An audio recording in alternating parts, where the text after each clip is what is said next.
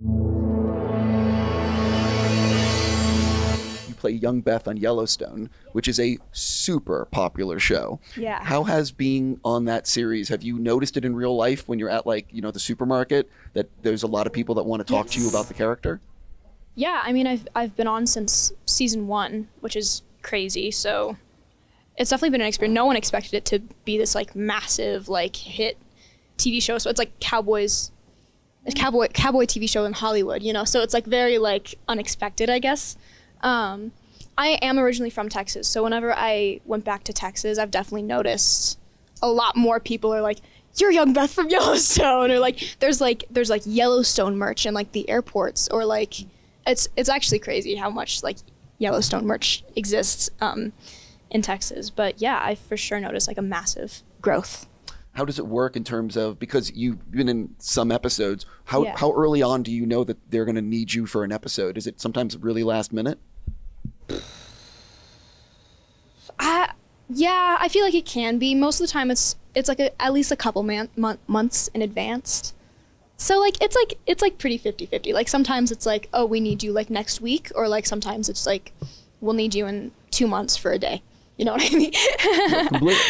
uh, I had one other question for you. Uh, I am really looking forward to a certain Joaquin Phoenix film that's coming out in the not so distant future. Yeah. Um, so can you talk a little bit about being part of that film because I I'm very excited for it.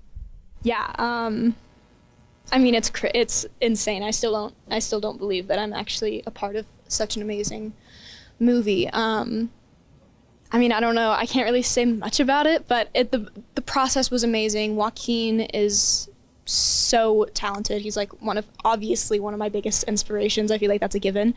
Um, and Ari's so creative, and I can't wait for everyone to see it. It's insane.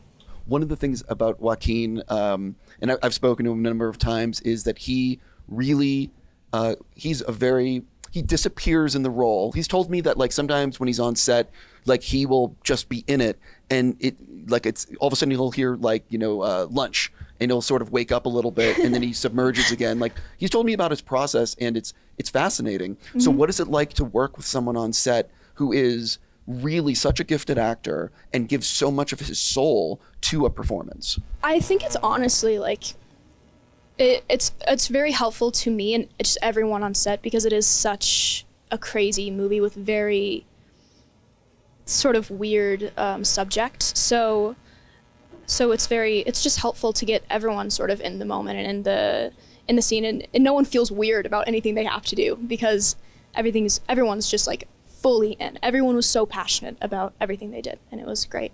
Yeah, I, I would imagine that working with someone like that, and as because you've worked on a number of things now, it's really helped you as a performer, and uh, you know to not be maybe as self conscious on set. Yeah, what hundred you're doing. percent, one hundred percent. I feel like, especially I've never done a role like um, who I portrayed in in Beau is Afraid, so I was uh, definitely a little nervous going into it. But then honestly, by the end of it, I was just like totally out there, not self conscious, just doing anything I I could, and it was great.